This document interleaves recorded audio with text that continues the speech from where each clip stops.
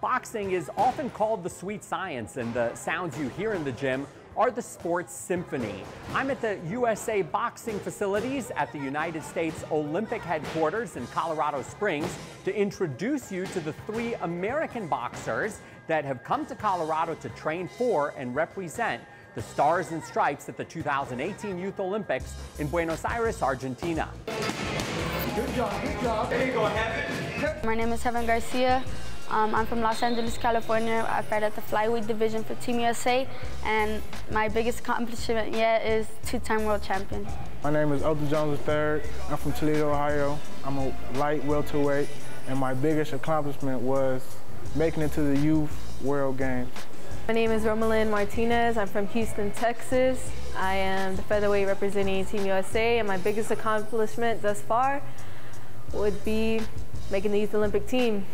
These are the three Team USA representatives that will be facing the best 17 and 18 year old boxers in the world at the 2018 Youth Olympics in Buenos Aires, Argentina. Before taking on the world, they've come to the U.S. Olympic facilities in Colorado Springs to train with Team USA junior and youth head coach Augie Sanchez.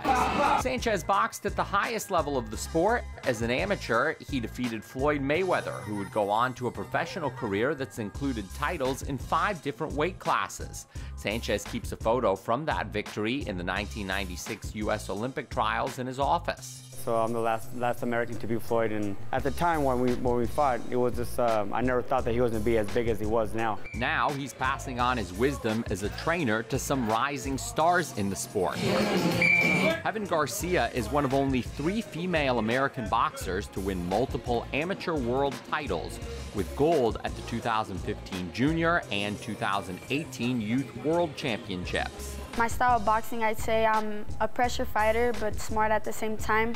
Uh, I could box if I need to and just adapt to anybody. Otha Jones III started boxing at the age of eight. Now 18, he's developed a crafty style that has led to more than 250 amateur wins and representing Team USA in multiple international tournaments. It's a special feeling. It's nothing I ever felt. It's like nothing you can. Whew, truly, truly blessed. There's a certain peace boxers find in the ring amidst all the technical complexities of the sport, as Romalin Martinez explains. Actually, the ring is the only place I really find peace in my day-to-day life, so that's it. Punching other people in the face is kind of what does it for me. Long term, the U.S. Youth Olympic boxers said they're aiming for the 2020 Summer Games in Tokyo, hoping for a golden future. For Colorado Prep Spotlight, I'm Jonathan Horowitz.